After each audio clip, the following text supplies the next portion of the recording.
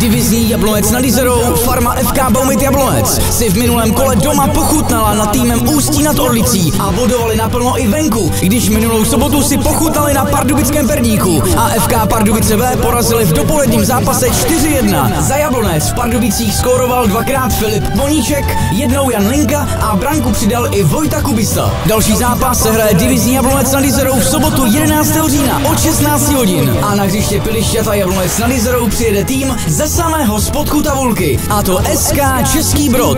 Přijďte podpořit domácí dalšímu bodovému zisku. Sobota 11. října od 16 hodin. Hřiště Pilišťata, Jablonec nad Izerou. Pivka, klobásy a fotbal. To je váš plán na sobotní odpoledne. Partnery utkání jsou firma Stemro SRO, stavebniny a autoservis Štěpánek, Jablonec nad Izerou a Ski Centrum Petr, Roky nad Izerou.